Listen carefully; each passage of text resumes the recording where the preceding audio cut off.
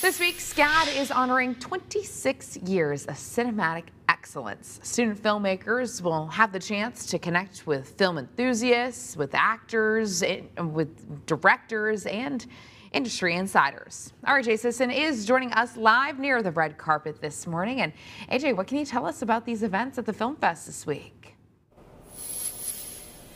Well, what I can tell you, Emma, is I actually had some friends out here not too long ago working here on Broughton Street. All they were doing was working to open up this little section of Broughton Street. So it is back over open. However, the SCAD Film Festival is the world's largest university-run film festival. And here in Savannah, it will continue on tonight with the screening of one of the most highly anticipated films of the entire week. Now, as I mentioned before, the eight, eight day long film festival began back in 19 1997 under current SCAD president Paula Wallace and transforms downtown Savannah into a film lover's paradise. And tonight at 7 is the premiere of May December, directed by Todd Haynes, and will feature actors and actresses such as Natalie Portman, Charles Melton, and Julianne Moore. However, we got the chance to catch up with a student at SCAD who worked behind the scenes as a production assistant, and we asked her what made her like the film filmmaking process so much?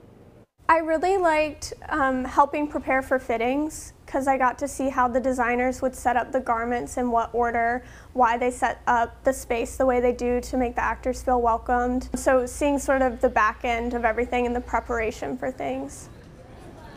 Tickets for May December are already sold out. However, a standby line for each movie that is sold out is available. And the SCAD Film Festival, like I said, will continue through October 28th and will also continue tonight with another gala screening of the movie Poor Things. That starts tonight at 9 p.m. For all ticketing information for any event, you can find it on our website at WJCL.com. Emma, back to you. All right, AJ, sounds like an amazing time. We're going to check in with you in just a little bit. Thanks so much.